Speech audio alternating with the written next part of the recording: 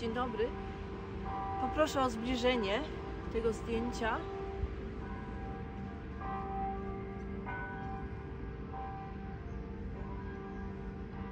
Dobrze, dziękuję. Sprawca chce być zbawcą. Na tej ławce w Głupczycach przed paroma tygodniami, 29 marca 23 roku, siedział ojciec Antoni. Tego słowa ojciec używam tylko raz i opowiadał historię tego anioła. Życzeniem Antoniego było, żeby ten anioł zszedł z wieży ratuszowej na ławeczkę do ludzi. Cytat Antoniego.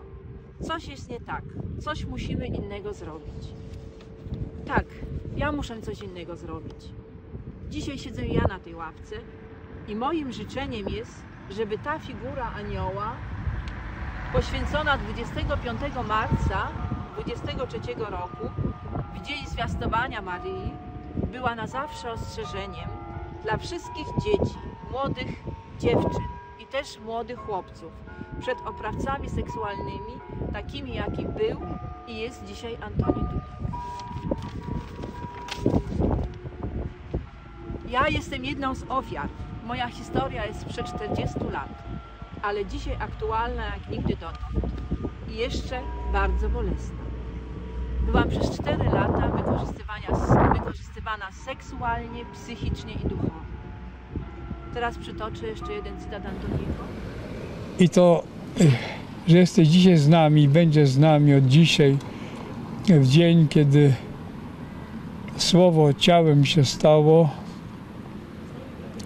no to będzie też chyba punkt zwrotny w moim życiu.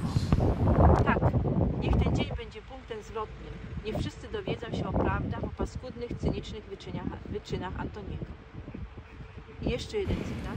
Że jednak trzeba pełnić wolę Bożą, że to swoją obecnością podpisujesz na, na dole kartkę i ona jest czysta i trzeba ją wypełnić w pełnieniu woli Bożej.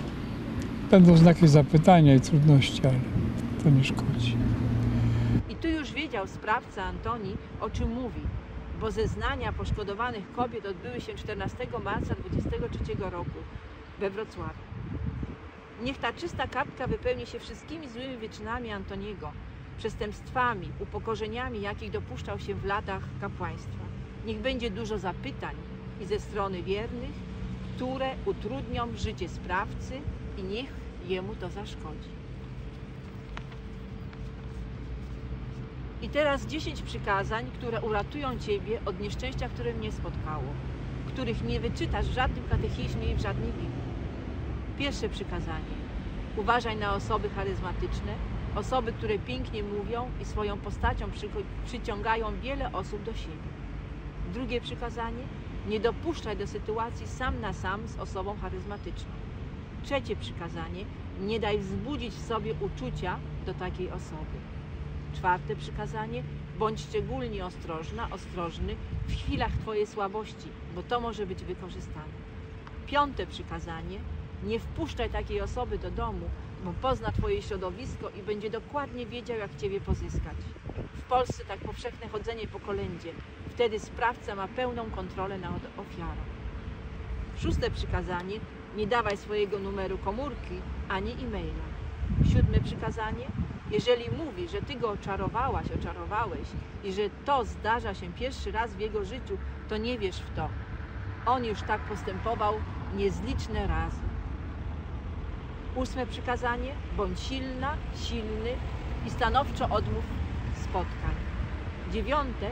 Staraj się zbierać dowody, karteczki, SMS-y. I dziesiąte przykazanie. Poinformuj najbliższych. Nie prowincjała, nie proboszcza. Oni w pierwszej kolejności będą kryć sprawcę. To ich brat. To chciałam dzisiaj opowiedzieć na tej ławce. Przyjechałam z bardzo, z bardzo daleka, żeby tą historię opowiedzieć, bo to już jest sprzed 40 lat. I tutaj w Głupczycach ojciec Antoni jest w klasztorze franciszkańskim i dalej służy.